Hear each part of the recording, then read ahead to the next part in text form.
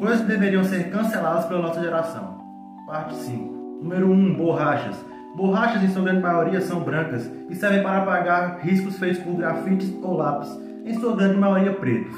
Mas calma lá, brancos apagando pretos? Coincidência? Não. Racismo. Número 2. Covid-19.